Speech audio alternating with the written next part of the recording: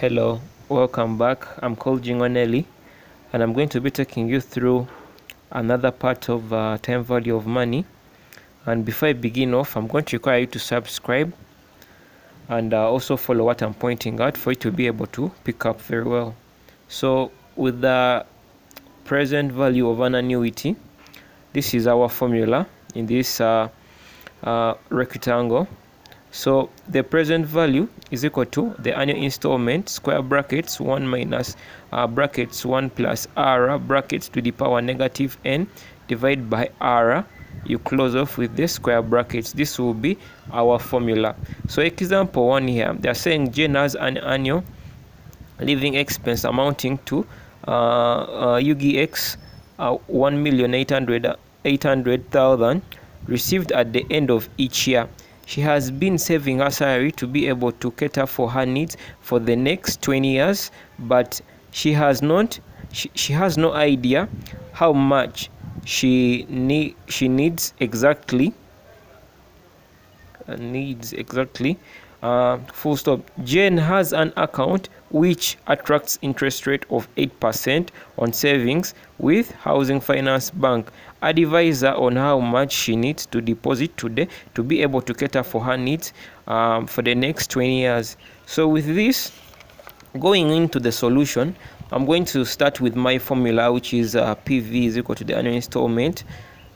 Uh, as i have uh, written it down here then after that, I extract out the vital information from the previous question, whereby I was having my annual installment as this was the annual uh, my annual living expense amounting to this. So this was my annual installment of this, and then uh, square brackets one minus one uh, my mm, square sorry one minus bracket one plus zero point zero eight. This is got by this, whereby I say r um, which is the interest rate is equal to 8%, which is equal to 8 divided by 100, giving you 0.08, which I come and I drop here. We already know the n, which is 20 years, then a minus 20 years, divided by 0.08. So me after doing that, uh, I move on to this. Then I say 1 minus this plus this, I get this brackets uh, to the power negative 20 and divide by 0.08 so after me knowing that I continue. I do this I work out for this I get this divided by the 0.08 so me after getting this it I will learn to my answer as this. So the 1 million 800 and uh, 808 the 1 million or the 1.8 million times the answer which I've gotten uh, so my PV is equal to uh, 17 million 674 1200 so this will be my what? My answer. So therefore i can conclude therefore j needs to deposit uh, this amount today to be able to cater for her needs for the next 20 years. So with that i'll be done with the present value of, uh, of an annuity or how to determine it so moving on I'll be moving on to the present value of uh, uneven cash flows. Now with this, uh, where cash flow, where cash flows are not uniform, the present value of a series of such cash flows is determined by the formula. For example, if I'm to take uh, an assumption that if at all I'm given three years, I'm going to say uh, the present value if at all I want to determine the present value of an even cash flow, the present value is equal to annual uh, the annual an, annual installment divided by the 1 plus r brackets to the power 1 of that one year same to the second year same to the third year. I continue. Till depending on the number of years being given but in this case i've been uh, i've been given three years so i'll end at three years. And after me summing up this this this i'll be getting my present value of the uneven cash flows. So that is that with the formula for uh, determining the present value of uneven cash flows. Then uh, looking at continuous cash flows these are like payments that go on forever.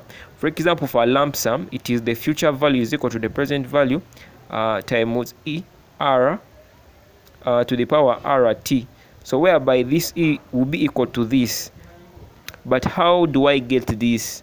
I'm going to go on my colleague. I press shift plus the in button plus one plus the equal sign whereby r will be my interest rate t will be my number of years. So this is how i do it. I'm going to go to my colleague. I press shift. Then after pressing shift i go to the in. Then 1 is equal to 1 sorry. Equals. It's going to give me this so that is what I have used here. Uh, this is what I have used to get this. Then for an annuity for an annuity sorry it's called perpetual annuities. So for it it's given by the formula PV is equal to A divided by R. So moving on uh, moving on to the perpetual annuities uh, an example for this.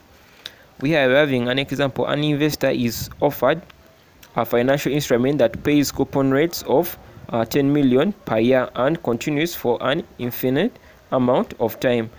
Uh, assuming uh, discount rate is uh, quoted at 5% per annum how much would an investor be willing to pay for the instrument today? So it will be by our formula pv is equal to the annual instrument divided by the r whereby r will be 5 divided by 100 giving me 0.05 so PV is equal to the 10 million divided by the 0.05. So PV is equal to the, the 200 million. So therefore, I conclude and said 200 million is the amount the investor will be willing to pay for the instrument today. So that will that was an example to do with the perpetual annuities. Then after that, I will just look at the annuities due and with anew it is due from what we had discussed from our previous audios. Annuities due these are uh, annuities that occur at the beginning of every time interval. Now for the future value this is the formula. It is like for an ordinary annuity it is like for an ordinary annuity and then I, I times it with the 1 plus r in this bracket. So it will be future value is equal to the annuity uh, square brackets brackets 1 plus r brackets the power n minus 1 divided by r. So if I, if I told you to cover this this will be the this will be the future value this will be the future value of an ordinary annuity. But if I are to add this then it becomes the uh, it will become a, a, complete formula for the annuities due. Then same to the present value of uh, an, an uh, of annuities due. You you write the you get right the formula of the ordinary annuity of the finding when finding its present value and then you add that the one uh, the brackets 1 plus r. So the same is pv is equal to the annuity square brackets 1 minus brackets 1 plus r to the power uh, negative n uh, divided by r and from this this is it. So this will be the complete formula for the annuities due. So thank you so much for watching. Make sure you subscribe